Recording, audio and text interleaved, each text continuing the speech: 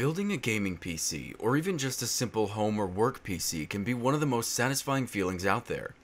It's one of my more important hobbies, and I will literally build my friends a PC for free, so long as they bought the parts, because I love it so much.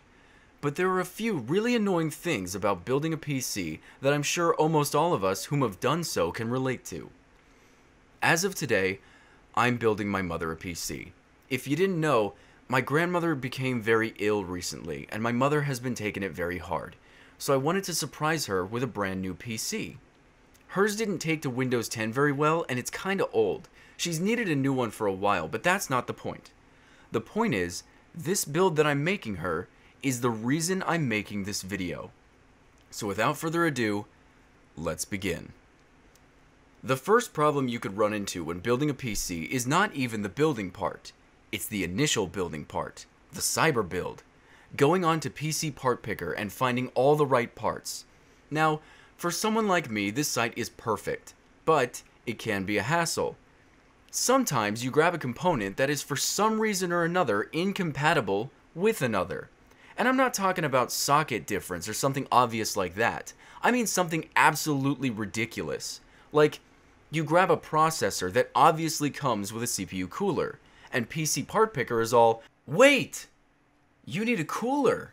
PC Part Picker, I have one. The CPU comes with it, and it says it literally right here. This isn't much of a problem for most, but I have a friend who got a processor with a cooler and then bought a $100 cooler because one, he's naive. Two, he heard bad rumors about AMD. And three, PC Part Picker told him he should get one. Leave me alone and let me decide what I want to do with my build. Only warn me if I'm being stupid or grab an 1151 for an 1155 socket or something like that. Next is when you get all the parts. You bought them all from Amazon or Newegg or maybe from a few different stores. And you start to look over your parts and realize something very important is missing. This happened to me with my mother's build. I bought everything from Newegg and everything was here within two days, but guess what didn't come until two days later? The case! Literally the only thing I needed to start the build. I could have easily just not worried about it if it had been almost any other part. RAM? Who cares? CPU? Oh well, but motherboard and case have to be there or you're gonna wait. And that really sucks. For those of you who haven't built a PC, or had it built for you. Let me try to illustrate this. Imagine for a second you go to a buffet and there's a huge salad serving. You have everything lettuce, tomato, chicken, ranch, but no bowls or plates. The single most important thing, and this just really sucks. Because I get this tingly, I want to build feeling when the hardware comes. Yeah, I know I have a problem, but I'm not in the mood to fix it. I just want my parts. So all the parts arrived, and you start building. You go for about an hour, and you're really careful not to static shock anything, which is another annoying issue, but it rarely happens. Regardless, be careful. You plug it into the wall, plug it into a monitor, and power it up, and guess what? Nothing happened. Now you have to try to figure out which component came to you dead on arrival. This is such a kick in the nuts, too, because in a way, this can easily make you feel like you're responsible. You messed up, and you're the reason it's not going to start, and it breaks your heart. This happened to me with my mother's board. See what I did there?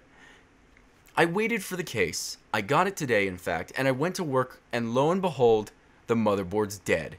And it really sucks, because now you have to RMA it. so you go to Newegg, you get the RMA code, you slap it on the side of the box, drive down to your nearest FedEx or UPS, and wait another few days. But oh wait, you just realize that it's the weekend, so the RMA won't actually go through until the next week starts. What friggin' luck! And it always does that, too. the RMA comes. You put it together again. You plug it in. Boot it up install your OS and BIOS, and you're good to go. You activate Windows or whatever operating system you chose, uh, and you now have a new PC. No fuss, no hassle, and in your head, there's a promise that you'll never do it again. But you know better. You and I both know better because even though you went through all of that, you struggled and overcame every obstacle in your way. And in the end, it's one of the greatest feelings ever.